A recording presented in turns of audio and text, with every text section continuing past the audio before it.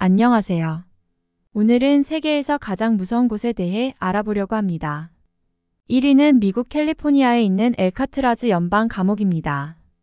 무자비한 죄수 생활과 감옥 내부에서 벌어진 각종 반란과 폭동으로 유명한 곳으로 많은 이야기와 미스테리가 둘러싸여 있습니다. 2위는 프랑스 파리의 지하 묘역 카타콤브입니다. 수천 개의 해골과 뼈가 공포스러운 터널과 갱도에 걸쳐 놓여 있어 누구나가 끝없이 이어지는 미로에서 방황하는 듯한 공포감을 느껴볼 수 있습니다. 3위는 일본 나고야의 수요산 연중 제사오 묘지로 알려진 곳입니다. 많은 유령이 출몰하고 군데군데 비석이 존재하여 우주다운 분위기가 나는 곳으로 어둠이 깊어질수록 무서운 분위기를 만끽할 수 있습니다. 이렇게 세계에서 가장 무서운 곳을 소개해 보았습니다. 각각의 곳은 고유한 분위기와 이야기로 가득 차 있습니다. 여행을 좋아하는 분들께는 흥미로운 목적지가 될 것입니다.